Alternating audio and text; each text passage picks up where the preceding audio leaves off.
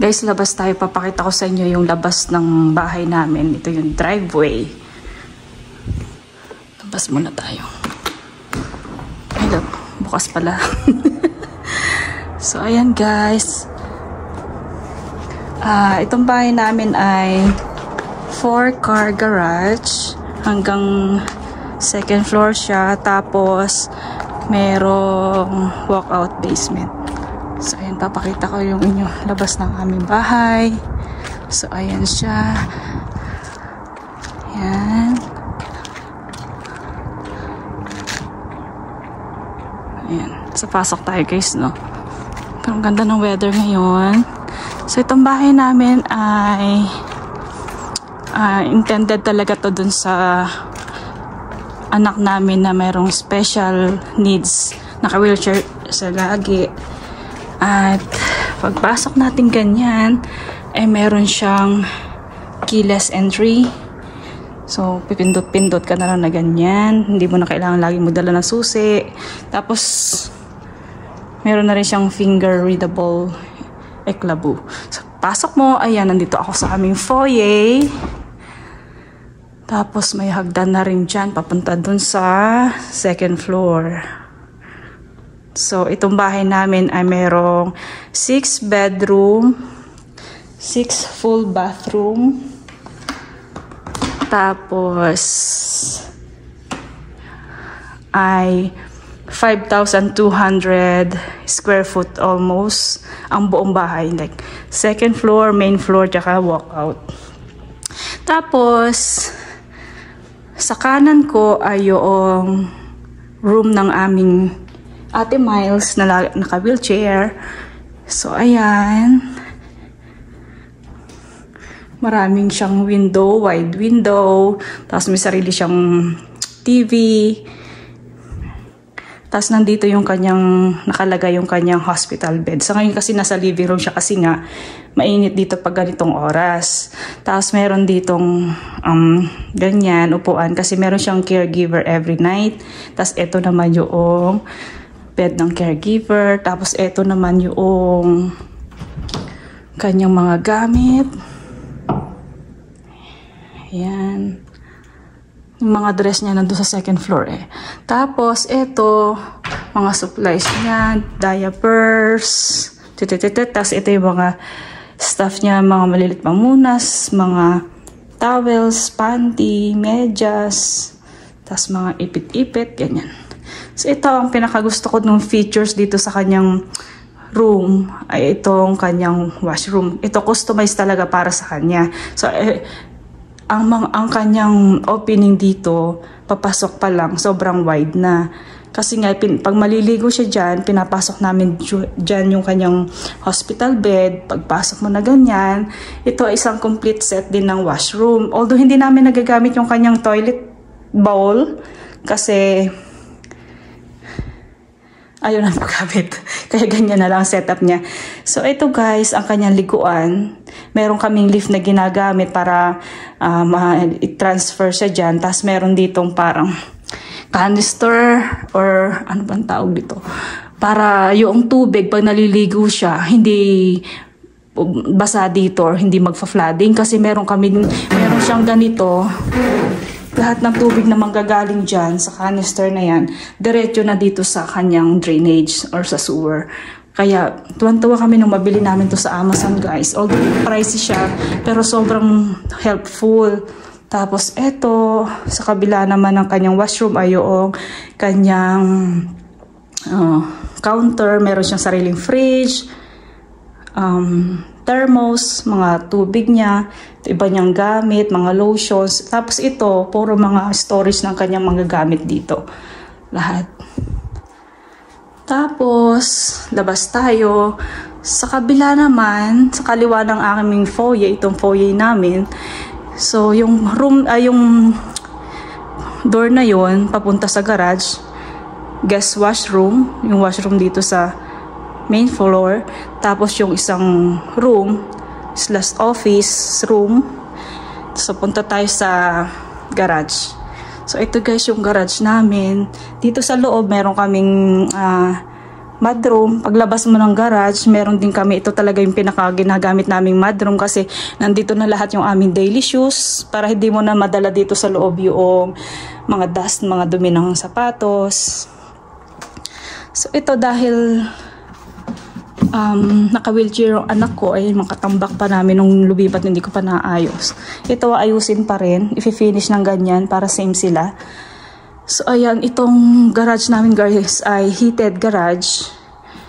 So apat na car ang pwede dito sa loob. So yung truck ng asawa ko nandyan, tapos yung car ng anak ko yung blue, tapos may share na kami yung isa na nandoon. So ito yung sinasabi ko na wheelchair lift ng anak ko. Ay, hindi ko pa pala nasasabi. so, ito yung wheelchair ng anak ko.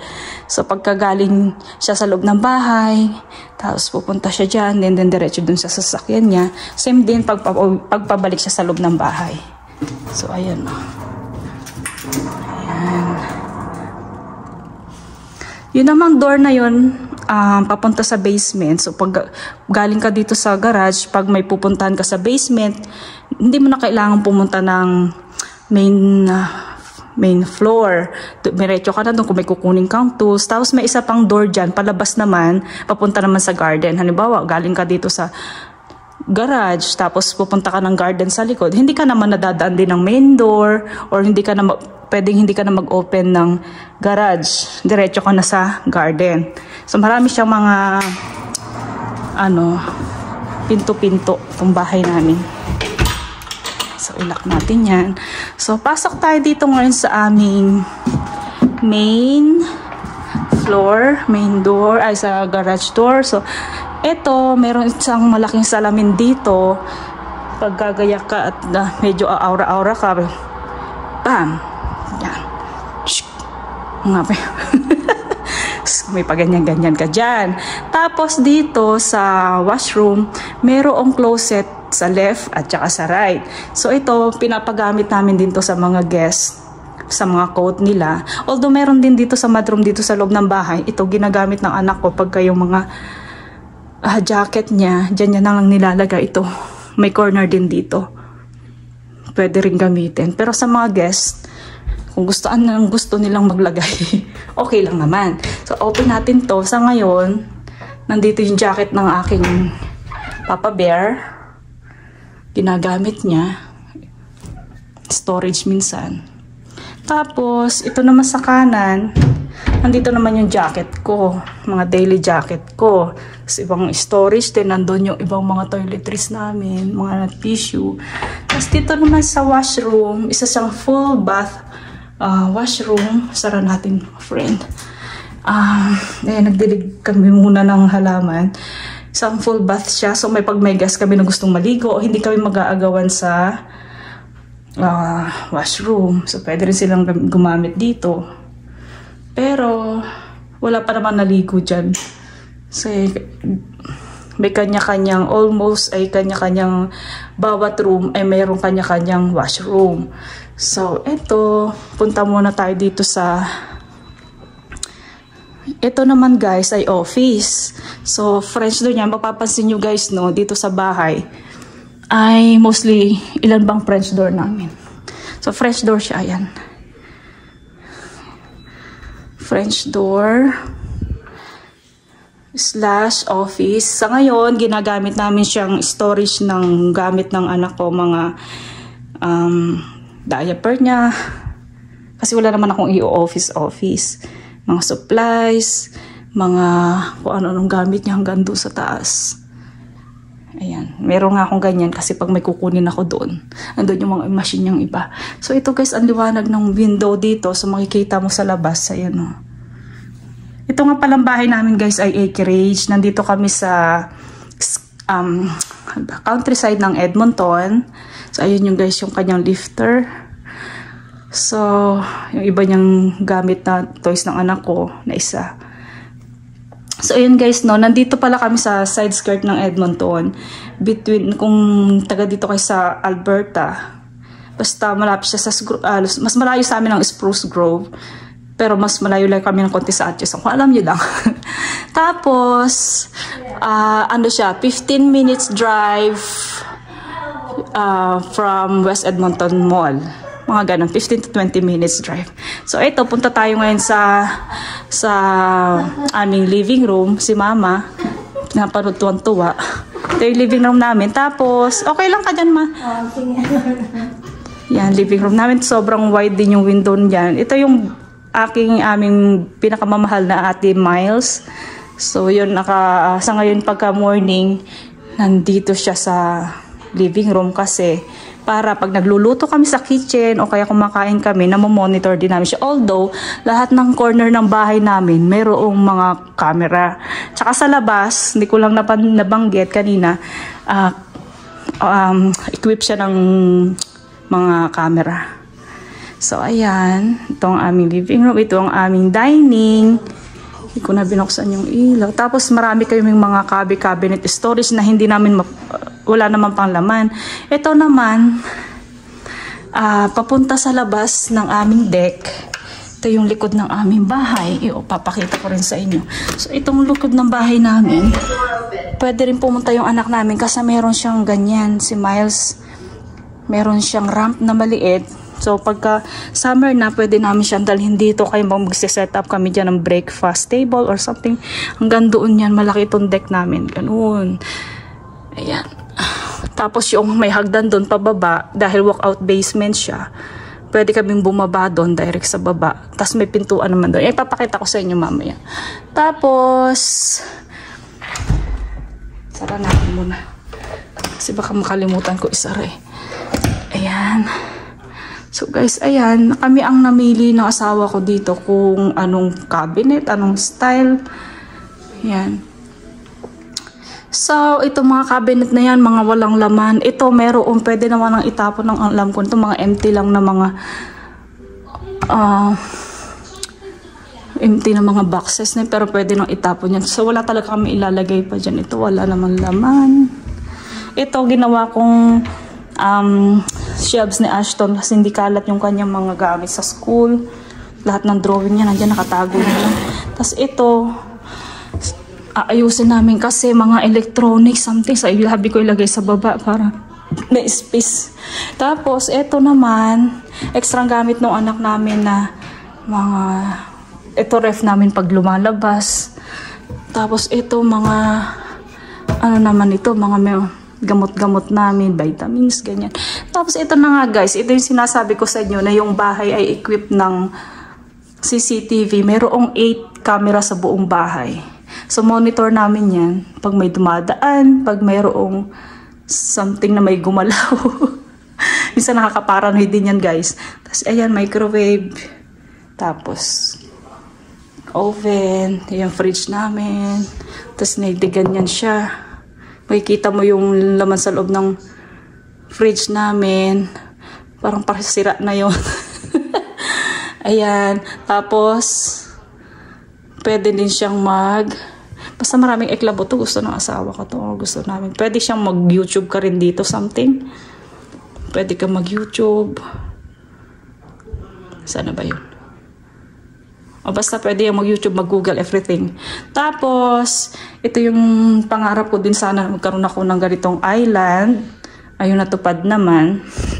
ito, mga gamit kung ano-ano. Tapos ito yung aming pantry na magulo. Hanggang doon sa taas, hindi pa naman namin nag lalagyan. So, ayan, mga gamit ng... Hindi ko pa siya naayos. Kasi kahit ayusin ko yung anak ko makulit din. May guguluhin rin naman niya. So, ayan. Tapos, walang laman. Mostly walang laman pa kasi nga malaki naman na yung para sa amin yung pantry na ganyan. Feeling ko malaki din sa amin. Tapos, ayan. Dishwashing. Ito guys, dito sa side na to, nandito yung aming mga daily na plato, kubyertos. Itong side na to, lahat kay Ashton, pababa mga gamit na Ashton na. So, alam niya nang kukunin kung saan nag-uuhaw siya, nagugutom siya, kukuha siya ng bowl. Ito naman yung lahat-lahat, pang lahatan. Yan. Tapos ito yung mga baso, ay mga kutsara pa rin extra, mga baso hanggang dun. Tapos, so ito guys, ito na, ito mga extra, basta maraming extra, ito mga coffee corner. Tapos mga staka namin ng bread. Itong ano na to, um, stove na to, hindi pa namin nagagamit. Tsaka yun, isang set din siya kasi ayan, meron din siyang uh, ano dyan, eklabo.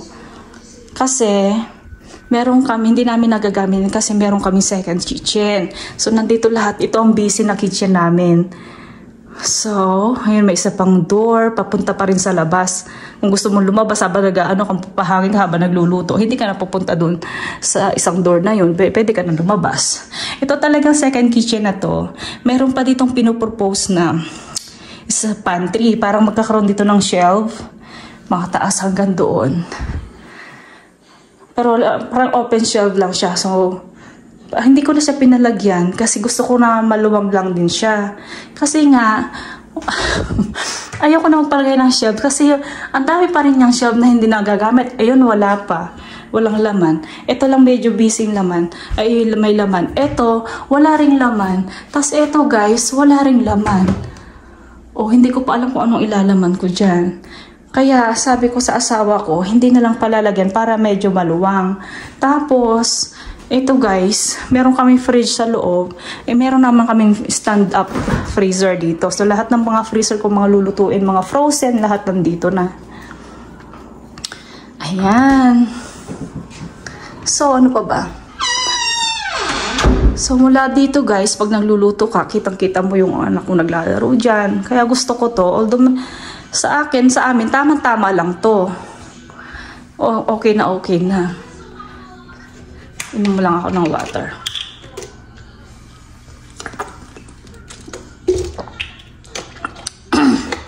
so, itutur ko naman kayo sa ito papunta ng basement. Pupunta ko naman kayo sa second floor. So, ayan. So wala pa kami nabibili mga display-display pero parang mas okay na lang sa amin na walang masyadong display. Akit mo na ganyan. So ayan, French door din yan. Mga uso dito ang French door. Kasi itong bahay na to guys ay European style. So French, European. so ito guys no, sa pag-akyat mo, doon tayo galing sa foyer. So umakyat tayo dyan. Dito sa taas ay Ayan. May, may iba pang living room. So, set up pa rin, pa rin namin yan pag nagkapera kami. Sa ngayon, ganyan na lang muna siya. Tapos, pag nandito kami sa taas, diyan kami nanonood. So, itong taas guys, sa baba pala, ay may dalawang bedroom. So, bawat room mayroong washroom. Kay Ate Miles, tapos yung office doon, isang bedroom. Tapos, hiningal ako. Dito sa taas, ito yung bedroom ng aking 6-year-old. Kasama niya si Lola dito. May sarili din silang washroom. Tapos, maganda dito guys kasi overlooking siya dyan oh. Kapit-bahay. Kitang-kita yung kapit-bahay. Kaya ayan guys, nasa acreage kasi kami. Kaya medyo malalayo yung bahay. Sa likuran medyo malalayo. Pero sa bawat, sa harapan, sakto lang. Medyo mayroon ka lang allowance din. So, ayan. Ito yung room ng anak ko. Ayan. May sarili siyang walk-in. Yung walk-in niya, saktong-sakto lang din sa kanila ng lola. Taghati sila. ayan. Tapos may sarili silang washroom. So, dito sa taas, sa taas guys, sa second floor, ang lahat ng room may sarili-sariling washroom. Kaya hindi kami nag-aagawan. Ayan. Tapos ito naman palabas. Kasi ito guys, pag nandito ka sa loob ng room ng anak ko, may sarili siyang door papuntang washroom. Pero pag may guest, halimbawa may mga nakitulog na guest, tapos gusto mag-washroom, hindi na siya kailangan pumasok dito sa uh, door ng anak ko. So direct na siya dito. Hindi na niya makikita yung sa loob ng anak ko. So ayan. So, ayan yung door naman papasok sa room ng anak ko. So, pag may guest, dito sila magdadaan. Ito ang kanilang way, papunta ng washroom. Tapos, ito ang aming guest room. Uh, isa siyang junior suite, isa siyang isa pa siyang set ng master bedroom. Isa siyang parang second master bedroom, ganun. Explain sa amin nung um, contractor. So, ayan. May bed. Tapos, ito yung washroom niya. So, yung anak ko, dito naman nagsiswimming kasi walang, hindi nalagyan doon ng bathtub. So, dito siya nag, ano, gusto niya mag-swimming. So, full bathroom din siya. Kaya, kinoconsider to na master bedroom kasi itong ginawa namin dito, itong ginawa kong office office kasi pwede itong lagyan ng setup ng receiving area. Kasi maluwang pa talaga siya oh. tapos ito ang kanyang uh, walk-in closet. Ito yung dress ng mga anak ko nandito. Lahat nandito yung mga linen namin na hindi ginagamit. Dito muna namin siya nilagay. Ayan. So parang dalawang hakbang mula sa pintuan hanggang doon. Tapos para kang pwede pa rin siyang tambakan ng ano. Ayan. Tayo natin. And, sa labas tayo dyan. Ito guys, sa kanan ko, next na pintuan ay ang aming laundry. Laundry room, laundry area. So, nandito na rin lahat yung mga ibang stocks ko naman. Toothpaste, kung gusto nung gusto magkumuha ng toothpaste, lotion. Hindi na hingin sa akin lahat nandito ng mga extra extra toothbrush. Kasi yan guys, walang mga laman yan. Ang ganda sa taas, doon. Oh, wala. O, oh, tambak lang na konti. Yan guys, walang naman. Mga hindi. Hindi ko alam anong ilalagay dyan. Kasi nga wala naman kami masyadong gamit. Kasi pinamigay ko na yung ibang mga gamit. Dinajinang ko na. So, ayan guys. So, ito ang way naman papunta sa aming master bedroom. Ito sa aming master bedroom ay French door din siya. Ayan. French, French. Dito, French. May ligsa sa French. Kaya gustong gusto ko siya kasi Tsaka mapapansin nyo guys, no, high ceiling siya. So yung pinto namin parang 8 feet. 9 feet yata tong ceiling. Ayan. Tapos, dito sa pagpasok mo dito, meron kaming balcony na kami lang nakaka-access unless pumasok sila dito sa aming bahay, ay aming room, master bedroom. So, ayan. Dito naman, harapan ng bahay, kung makikita nyo uh, sa unang ano ko, meron kaming padungaw effect. Mga pakavite. Ayan. So, pag may parating na bisita, pwede ka ditong kumaway-kaway na para kang mga pakavite style. So, sara natin front. Ayan. Ito ang aming master bedroom. Ayan. So, may door ditong isa. Ito ang aming walk-in closet, pero papalast ko yan. Ah, uh, iyon yung aming master bath, washroom. So, pwede ka dito dumaan, pwede ka doon dumaan. So, ito, daan tayo dito. Ito, magsiset up din kami dito ng small reading area or living area. So, ayan, meron ako dito vanity area, vanity. Tapos mag, pwede ka diyang magtampisaw pero hindi ako sanay magtagal sa tubig kaya hindi ko pa yung nagamit mag, mag, ano, mag-soak dyan. Tapos ito ang aming um, shower area. Tapos his and hers na sink. Tapos nakahiwalay ang aming ba't nakabukas ang ilaw? Aming toilet bowl nakahiwalay siya. So, pwede mo siyang isara yan. So, dito tayo dadaan. Oh. Tapos, um, ito ang aming walk-in closet. Yes, his and hers walk-in closet. Kasi natin ang ilaw. Ay, hindi naman pala masyadong halata. So, ayan, yung area na yon yun yung aking mga dress. Yan. Yan ang aking area. So yun, wala naman akong ilalagay doon ng mga LV-LV. Kaya empty lang siya dyan. Tapos, ito namang side na to ang sa asawa ko. So, ganito ang style niya. Yan, yun yung sa aking Papa Bear. Whoops. Yan. Tapos ito naman sa mga drawers, hati kami. So, itong side na to, ay sa akin. Tapos itong side na to eh, sa kanya. So, ayan. Ayun mga friend, ang aming second floor. Oops. Hindi ko napatay yung isa. So, ayan. So, pag nandito ka guys, punta tayo dun sa ah, uh, ito, sa loft namin. Pag nandito ka sa loft guys, uh, makikita mo yung kapitbahay na ang ganda mag-sightseeing. Kasi nga, mataas tapos mga wide ang window. Ilang matagal kasi magsara to eh.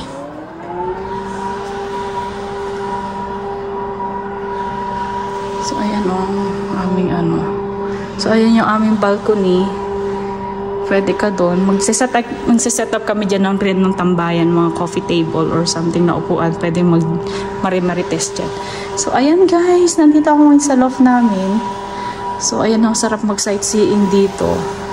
So, ganyan. Sa harapan ng bahay namin, yung sa yung uh, space ng bahay sa kabilang bahay, hindi naman masyadong malaki. Pero sa likod, ang lalaki kasi acreage ito guys eh. Ayan o. Oh. So, yan. Sa summer, bahala na kasi yan, mahirap yung mag-maintain mag, uh, ng loan. So, ayan. So, dito sa taas guys, ito ang view.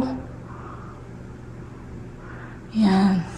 Si mama, ang mahilig manood dito ng TV kasi nga, pag bago siya matulog, pag inaantok na, manood muna siya dyan. Pag inantok, and then ayun yung kwarto nila ng anak ko. So yung lalaki naman na anak ko, 6 years old, madalang naman matulog dito sa second floor kasi sumisiksik pa rin sa, sa amin. Tapos, baba tayo. Papakita ko naman yung aming basement. Yung basement namin guys ay may isang be isang bedroom doon. Uh, meron ding washroom pero hindi siya kasama, hindi siya en suite. Kumbaga, pwede lahat maka washroom. So, ayan, carpet dito sa baba para hindi masyadong malamig. Pagbaba mong ganyan, ay ditong room na ito, French door din siya. So, ayan. Um, ito yung theater room namin. So, ayan. Yan. So, mayroon kaming ginagamit na ganyan. Anong tawag dyan? Basta ganyan. Mayroon na siyang Netflix, YouTube.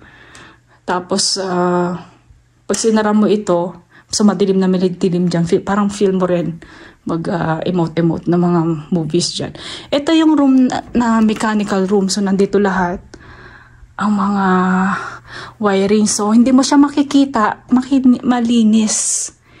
O, oh, ayan, o. Oh, pag nakasara na ganyan.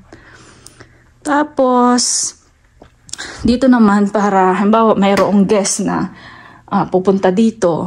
Ito ring closet na to yung lagayan ng kanilang mga jacket, coats, ganyan. Oh. Oh, meron pa pala dyang ano. Yan, yung excess namin gamit nandiyan pa. Tapos itong door na to, ay, yun yung galing sa labas na. Areko, areko, areko. Andito pala yung aming mga tambak ng tubig. So, ayun yung door na galing papunta sa labas. Ayun yung door na isa na sinasabi ko Ah, hindi masyadong kita. Papunta naman ng garden. Tapos, so, kapag uh, meron kang ibang bisita, ayan, eh, ay, dito sila mag, pwede sila dyan dumaan, pwede rin, pakita ko sa iba. Ito naman guys, mga electrical na iba, nakapintuan din, so lahat nakatago. Kala mo naman, may palabas pa dyan, pero wala. Tapos, ito yung nag-iisang room dito sa baba. Guest room din siya. Kaya pag may mga cards na si Ashton, pwede na din sila matulog or magkipag-sleep over. Ayan. Tapos meron din siyang closet. Pero ano lang siya. Simpleng closet na lang. Ayan. And then, itong door na to, ilalim ng stairs, ay nakaset up naman siya para sa laundry. Meron siyang, ayan o, nakaset up para sa washroom and dryer. Ayun, saksakan niya. Kasi guys, ito for the long term, itong basement na to ay isa siya, isa pa, isa pa siyang unit ng bahay. Parang uh, basement suite. Kasi ito yung aming basement kasi ano siya, nakaset up siya na para, may isa pa, siya, isa pa siyang kitchen. Uh, yung space na yan para sa um, lutuan, sa stove, tapos isang fridge, tapos ayan, kung tutusin guys, uh, ang basement talaga ay nakaset up yan para sa bar, mga bars, ganyan. Eh, hindi naman kami nag-iinom, bawas amin, kaya ganito ang setup niya. Pero pwede pa rin gustuhin ng namin sana. Tapos, ah, uh, ito yung aming basement. Naging laruan muna siya ngayon ng anak ko. Uh, isa siyang hall.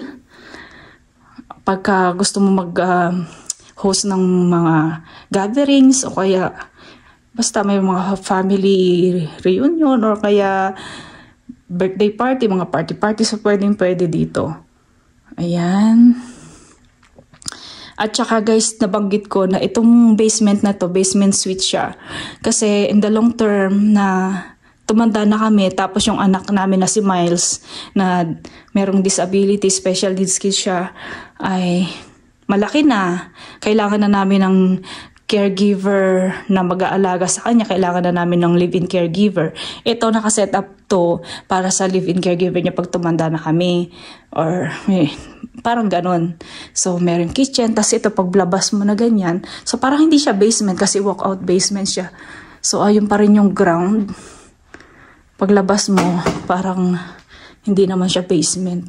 So, ito yung door palabas. Wala kasi akong ano eh So, ito yung uh, hagdan galing sa basement, ay sa deck. So, ayan. Pag lumabas ka dito, pag sa summer, maganda dito guys. Gusto namin dito maglagay ng ping pong or pool or something. So, ayan guys, no. Ang ano namin, ang property namin, kung nakikita nyo yung bakod ng kapitbahay, tsaka yung bakod ng kapitbahay doon. Kung nakikita nyo yung drum, gram na yun. Ayan. Yung, ah, uh, yung ano na yan, bakod na yan, tsaka bakod nitong kapitbahay namin. Yan yung sakupan ng aming property. So, yun ang papabakura namin sa summer. So, ayan.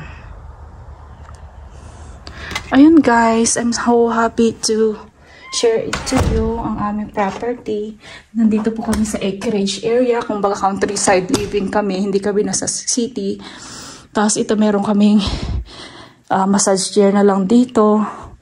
Tapos dyan naglalaro kami. Ito yung pala yung, ito mo na, washroom dito sa baba.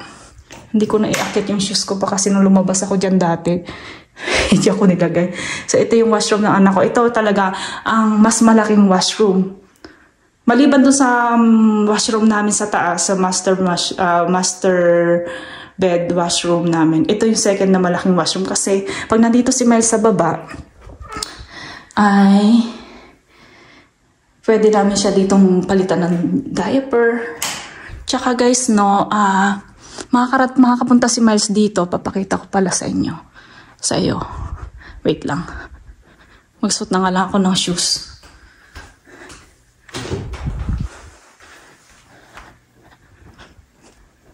So guys, no, makakapunta dito si Miles galing sa main doon sa aming uh, uh, wheelchair lift niya doon sa main floor. Tapos, pag galing siya sa main floor, meron kaming ramp dito mula doon sa garahe. So ito ay ano siya, uh, wheelchair accessible na bahay. So may pag may bisita kami na mayroong naka-wheelchair, pwede rin dito. So, ito guys, oh. Mula sa main floor. Ayan. Dito siya dadaan ng wheelchair ni ate. Ayun, haling tayo sa baba. Papunta tayo sa main. So, ayan yung garage namin. So, pag galing sa main na bahay, si Miles main floor, so dito siya bababa. Papunta siya sa uh, basement.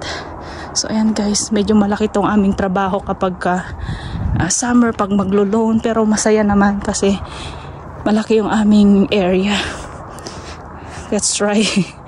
So, ayan. Ingat tayo kasi puro yelo. Dito na punta lahat ng mga tubig-tubig. So, ayan guys. Malaki ang paglalaroan ni Ashton kasi may mga barkada siya pag tumanda na siya or naging high school na siya. Pwede namin siya ditong patayuan ng mga basketball or something. Pero hindi pa ngayon, pag nag-high school pa siya, makakaipon pa kami.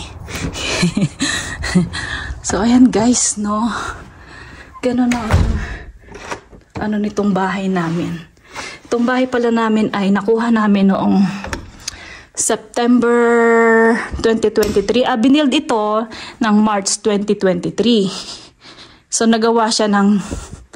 Akit na nga natin to nagawa siya ng 6 months lang, nagawa tong bahay ng 6 months. So na close itong bahay ng September 2023. Lumipat kami ng November 2023 din. So 5 months ngayon ay March um, 11. So 5 months pa lang kami dito sa bahay namin. So itong bahay namin ay ang nakalagay sa papel dahil walkout basement siya ay 5,000, almost 5,200 square feet. So, ayan guys. I hope nag-enjoy kayo sa aking tour.